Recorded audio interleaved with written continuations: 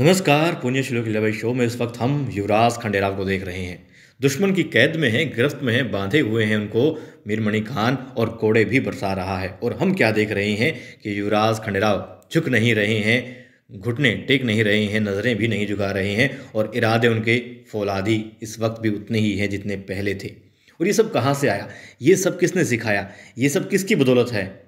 युवराज खंडेराव को जो गुण मिले हैं, उसमें बहुत हद तक हाथ है द्वारकाबाई साहेब का। जी हाँ हैरानी होगी आपको सुन के मगर मुझे यही लग रहा है कि यदि द्वारकाबाई साहेब जैसी वो हैं, वैसी ना होती तो युवराज खंडेराव, वीर, योद्धा, बहादुर इंसान, एक भावी राजा मतलब अच्छे इंसान तो होते ही, मान लिया होते ही। मगर जो वीरता उनके अंदर है, जो शूरवीर हम देख रहे हैं युवराज खंडेराव के अंदर, और जो प्रजा हितेशी युवराज खंडेराव हम देख रहे हैं, वो ना होता। देखिए, युवराज खंडेराव आराम से रहा करते थे, दोस्तों के साथ खेला करते थे, जो मन किया वो किया करते थे। जो चीज़ पसंद नहीं है, वो नहीं है। ऐसा उनका विचार था, यही उनका व्यवहार था। और इन सब में कौन साथ दिया करता था उनका? गौतम भाई साहिब। अक्सर आपने भी सुना होगा कि जो पत्थर हथौड़े और छीनी की मार से डर जाए, वो कभी भी किसी मंदिर की मूर्त नहीं बन सकता। अच्छी कलाकृति नहीं बन सकता। तो यहाँ पर ये विराज खंडेराव के साथ भी वही बात थी। गौतम भाई साहेब उन्हें बहुत ही सहेज के रखती। यदि वो गुरुकुल ना जाते तो। और द्वारका भाई साहेब ने ऐसी ऐसी चालें चली कि मजबूरी वश मल्हार राव सुबेदार जी को भेजना पड़ा युवराज खंडेरा को सुधरने के लिए गुरुकुल में, जहाँ उन्होंने बहुत सारी चीज़ें सीखी। शस्त्रों का ज्ञान लिया, व्यवहारिक ज्ञान लिया, सामाजिक ज्ञान प्राप्त किया, और क्या? शास्त्रों के माध्यम से ये भी जाना कि किस तरीके से हमारे जो पुराने पूर्वज जो हमारे हैं, जो योद्धा रहे हैं, जो राजा रहे हैं क्या क्या विशेष गुण उनके अंदर थे, जिस बदौलत वो प्रजा हितेशी के साथ साथ लोकप्रिय भी बने, प्रजा के प्रिय भी रहे, उनके दिलों में, प्रजा के दिल में एक देवतुल्य उन्होंने स्थान बनाया। और यही वजह है कि युवराज खंडेराव के व्यक्तित्व में भी ये सारे गुण आए।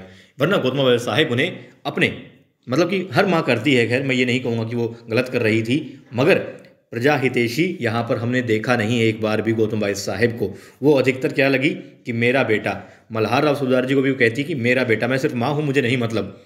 और जैसे देवी अहिल्या के साथ में वो व्यवहार करती हैं, आपने देखा होगा, गौतम भाई सरकार और द्वारका भाई साहेब लगभग एक जैसी हैं, दोनों सिर्फ़ अपने बारे में सोच रही हैं। प्रजा से किसी को मतलब नहीं है। हालाँकि गौतम भाई सरकार को है, मगर फिर भी इतना नहीं है जितना हम देखते हैं कि हाँ एक रानी को होना चाहिए। युवराज खंडेराव जो गुरुकुल में थे, तब देवी अहिल्या का बहुत साथ देती थी गौतम भाई सरकार। और द्वारकाबाई साहिब के सामने हर वक्त ढाल बनी मिला करती थी कि हाँ देवी अहिल्या के पास तो कोई वार नहीं कर सकती वो। हमेशा ढाल में कौन मिलेगा? गौतम भाई सरकार मिला करती थी। मगर अब वो उनकी बातों में आ जाती है। क्यों आ जाती है?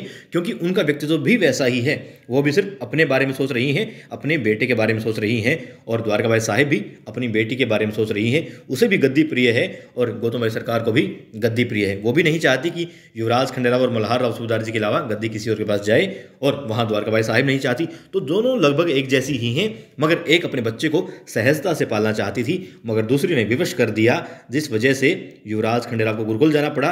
और बहुत बहुत सारे ज्ञान के साथ साथ बहुत सारी जो बुद्धि है, जो शारीरिक बल है, वह वहाँ उन्होंने प्राप्त किया। मतलब मुझे ये लग रहा है अभी कई दिनों से कि हाँ युवराज खंडेराव को, युवराज खंडेराव शूरवीर, युवराज खंडेराव मल्हार राव, सूबेदार जैसी एक छवि युवराज खंडेराव के अंदर जो आई है, उसमें गौतम भाई सरकार की बजाय ज़्यादा हाथ किसका है? द्वारका भाई साहेब का है, क्योंकि उनके षड्यंत्रों के कारण युवराज खंडेराव को विवशतावश या सजा के तौर पर भेजा गया था गुरुकुल में, जहाँ से उन्होंने सात साल बहुत कुछ ज्ञान अर्जित किया है और उसका फल हम देख रहे हैं।